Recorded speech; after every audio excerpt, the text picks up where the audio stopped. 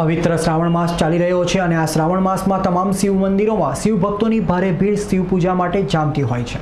અરવલ્લી જિલ્લાના મોડાસા નગરમાં આવેલી નાલંદા સોસાયટીમાં તાજેતરમાં એક શિવ મંદિરની પ્રાણ પ્રતિષ્ઠા કરવામાં આવી હતી. આ શિવાલયને પીપળેશ્વર મહાદેવ નામ આપી ભક્તોએ પોતાની શિવભક્તિ પ્રસ્થાપિત કરી છે.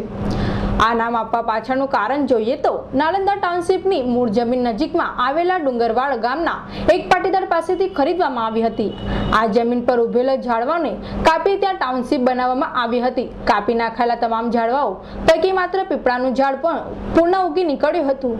આ પીપળાના ઝાડને વારંવાર કાપી નાખવામાં આવતું હોવા છતાં પુનઃ આ પીપળો ઉગી નીકળતો હતો. સાથે સાથે પીપળાના ઝાડની આજુબાજુ એક નાગ ફરતો હતો અને લોકોએ જોયો હતો. આ તમામ સ્થિત વચ્ચે ટાઉનશીપના રહીશોએ એકત્રિત થઈને તે સ્થાન પર મહાદેવ મંદિર બનાવવાનું નક્કી કર્યું હતું અને તેનું નામ પીપળેશ્વર મહાદેવ રાખવામાં આવ્યું હતું. અને છેલ્લા પાંચેક વર્ષથી હું આ નાલંદા ટાઉનશીપની અંદર રહું છું. અને આ જમીન લગભગ વર્ષોથી આ ડુગાવાડાની હતી, બાપદાદાની.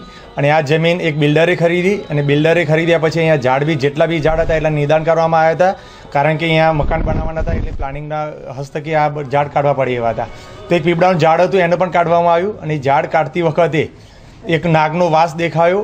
નાગના વાસની અંદર એટલે પીપળો વારા ઘડીએ જેટલી વાર કાપવા જઈએ એટલી વાર નાગ દાદા અહીં ત્યાં આગળ આવીને ઊભા થઈ જતા હતા પીપળાને કાપવા નહોતા દેતા. અને પછી એ પીપળો પછી બધાને એવું વિચાર્યું કે અહીં એક શિવ મંદિર બનાવવાની જરૂર છે. તો એક બધાએ મળીને એક શિવ મંદિર બનાવ્યું. અને શિવ મંદિર બનાવ્યા પછી અહીંયા એ પ્રાણ પ્રતિષ્ઠા પણ થઈ અને એ મંદિરનું નામ પણ પીપળેશ્વર મહાદેવ પણ આપ્યું. અને અહીંયા જે બી મન્નત માગે છે એની મન્નત પણ પૂરી પૂરી આ શિવ દાદા પણ કરે છે. પીપળેશ્વર મંદિરની પ્રાણ પ્રતિષ્ઠા. થયાને એક સપ્તાહનો થયો છે. ત્યારે શનિવારની સવારે પૂજારી તથા અન્ય દર્શનાર્થીઓ શિવલિંગની આસપાસ નાગને પ્રદક્ષિણા કરતો જોયો હતો. સાથે સાથે શિવલિંગ પર ફેન મારીને પણ બેસેલો નાગને જોઈ ધન્યતા અનુભવી હતી. બોલે શ્રી પીપલેશ્વર મહાદેવ કી જય. પવિત્ર શ્રાવણ માસમાં ભગવાન પીપલેશ્વર મહાદેવની પ્રાણ પ્રતિષ્ઠા મહોત્સવ ઉજવાયો.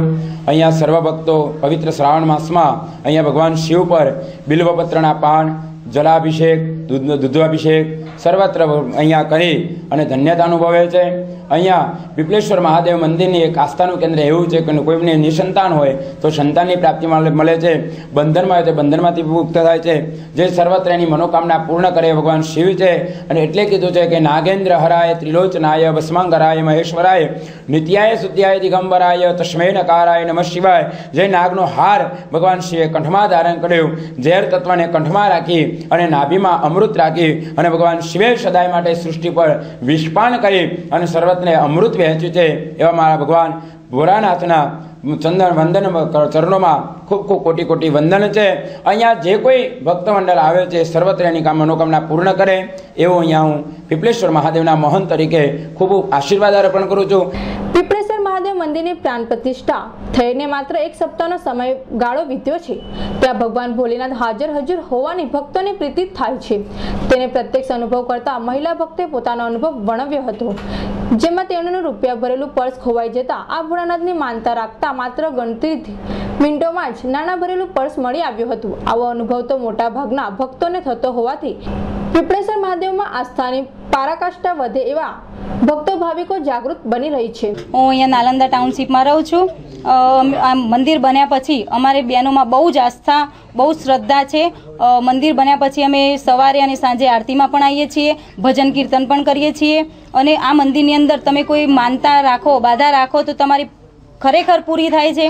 હું આ જીવંતિકાનું વ્રત હોવાથી મેં ગઈકાલે દાગીના કાઢ્યા હતા. એ દાગીના મેં મારી એક પર્સની અંદર મૂક્યા. તેમજ હું બીમાર પણ હતી, તો હું દવાખાને દવા લેવા ગઈ. ત્યાં મને થોડાક ચક્કર આવવાથી પર્સ ક્યાં પડી ગયું એ તે મને કોઈ ભાન રહ્યું નહીં. અને આજે સ્કૂલમાં જઈને મને પર્સની જરૂર પડતા મેં પર્સની શોધખોળ કર્યું પણ પર્સ મળ્યું નહીં. તો પછી મેં આ ભગવાનને મેં બાધા રાખી કે, હે ભગવાન, મારું પચીસથી ત્રીસ હજાર દાગીના ભરેલું પર્સ મારું ક્યાંક પડી ગયું છે. એ ભગવાન મને મળી જાય તો સારું. મનમાં એવું વિચારતી જ હતી.